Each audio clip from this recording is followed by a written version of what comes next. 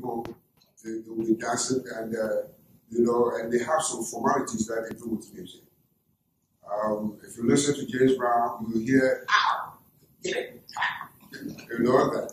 If you listen to Far people, it's the same.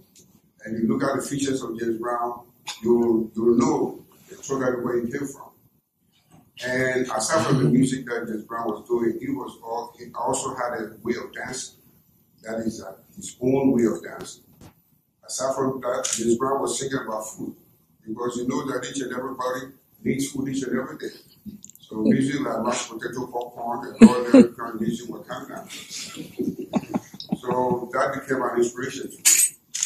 And when I came out with my first record, I had my own way of dancing. That style of dancing was coming from Sekondi anyway. Then I started coming with words, you know, foreign words about the hip hop, about the out, her rock,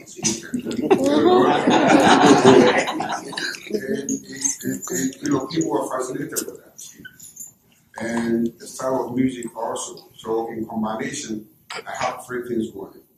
The dance, the music, and the lyrics. And I thank God for that because um, to be able to do something that people from different homes will will accept, then it means that it's, it's something great. Because when I go to perform, um, the audience, I see the, the audience getting involved with my music. When I say anything, they respond and all that. So um, that is a gift. If you don't have that gift, you can't put all minds together, let them forget where, who they are, and listen to your music and enjoy your music before they go back home. And lo and behold, when they are going back home too, they go back home with some of my words. because next time they see me in the street and say, her quiet, who's that? Thank God for that. So, um, since knowing that uh, my gift in this world is music, I followed it and I studied it, and everything that I have in this world is always given to me by music. And I thank God for that. And music is something that, to me, it is lifeless.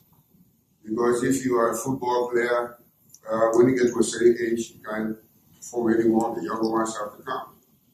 Um, if you're a musician, most of these big, big musicians like Louis Armstrong, they played until their 80s and 90s and things like that. So music is ageless. And if you keep on composing, arranging, collaborating with the younger ones and teaching them, then if you're not there, they can also uh, hold the mantle and move forward. So that's what I've been doing. Um, I still do music because when I come into Washington, I'm coming out with a new song, a new album. So I came to do some mastering here.